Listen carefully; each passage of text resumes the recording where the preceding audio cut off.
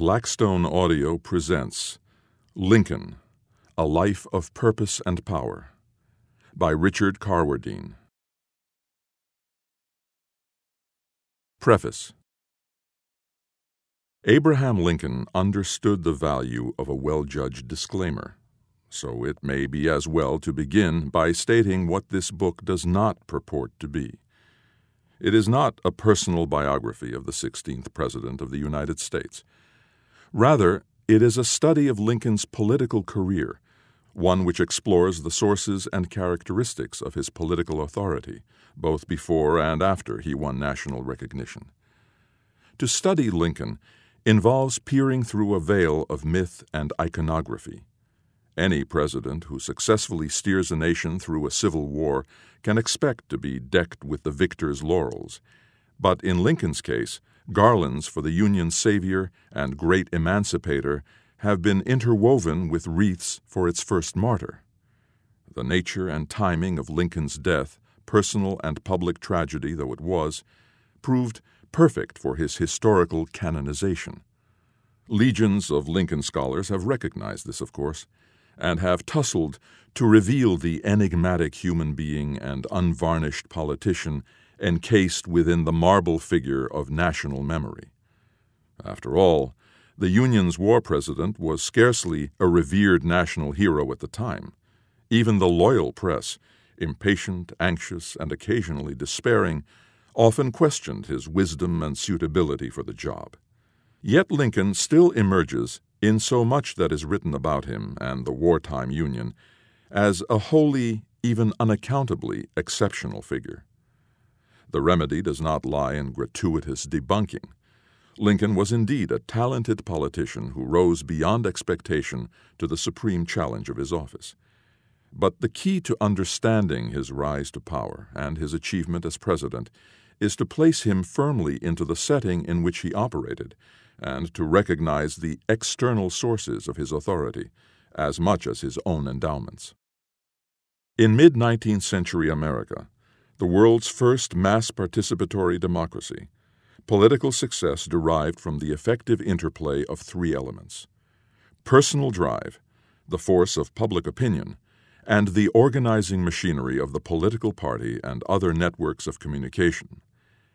During Lincoln's career as a peacetime politician and then as the only United States president to face the challenge of a civil war, his great achievement was to set ambitious but realizable political goals, to fathom the thinking of ordinary citizens and to reach out to them with uncommon assurance, and to hone his impressive skills as a manager of the often unstable and fractious elements that made up the political parties to which he belonged.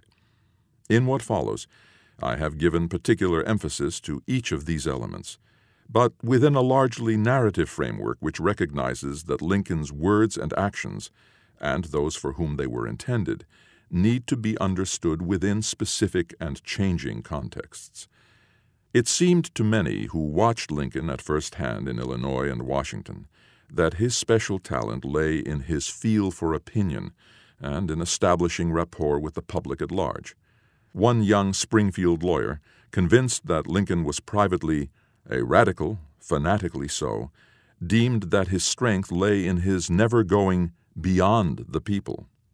For George Baker, a clerk in the State Department, the President's success consisted very much in the confidence and respect he won from the people. Other wiser, greater, and as good men might not have won this, and then all would have been lost in some of our great crises. But public opinion in Illinois and the wider Union comprised many ideological and cultural strands. Understanding the people meant comprehending pluralism.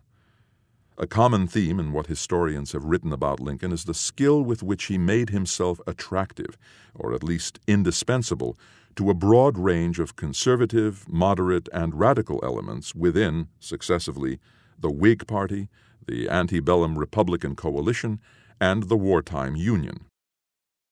Less well appreciated is his remarkable success in reaching out to what was the most powerful of all the era's subcultures, evangelical Protestantism. Mainstream evangelicals did much to shape the style, substance, and rhetoric of the mass participatory politics that reached their maturity in America at about the same time that Lincoln arrived at his. In antebellum Illinois, as elsewhere, the political fault lines commonly coincided with religious and ethnic ones. Alert to the power of religious opinion, Lincoln fused appeals to Protestant millennialism and Enlightenment rationalism. The orthodox Protestantism, which underpinned the ethical stance of Republicans and much of the wartime Union coalition, and which flourished in New England and its Yankee diaspora, was not Lincoln's religious faith. But he shrewdly harnessed the power of the most politically influential and energetic members of that constituency, both to win the presidency and to rally support behind his national vision and the war's purposes. Half of this study addresses Lincoln's pre presidential career. The first chapter explores the roots of Lincoln's political ambition, examining his early life, the sources of his ideas, his alienation from the land, his seizing of the opportunities offered by the emerging market economy, and his evolution by 1840 into a leading Illinois Whig.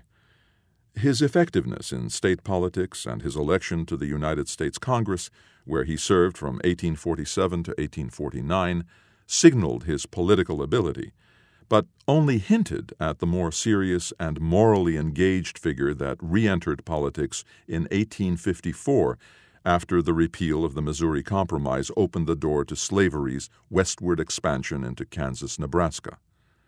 Establishing the philosophical sources of that moral engagement demands a discussion of Lincoln's evolving religious views. Chapter 2 examines how during the mid 1850s Lincoln became a chief beneficiary of the swirling public opinion that, acting as the arbiter of political power, destabilized the old parties and opened the door to realignment. Through several seasons of public speaking, Lincoln's steady advocacy of an anti slavery argument did much to shape public sentiment and to effect the displacement of the Whigs by a broader based Republican Party that aspired to national power. Within the mix of ideological, ethnic, and religious loyalties amongst Illinois voters, Yankee influence came to preponderate through the decade. In his debates in 1858 with his great rival, United States Senator Stephen A. Douglas, Lincoln earnestly sought to harness anti slavery religious sensibilities, not only in the Yankee dominated settlements, but as widely as possible across the state, and showed his grasp of the dynamics of the. We hope you enjoyed this preview. To continue listening to this audiobook on Google Play Books, use the link in the video description.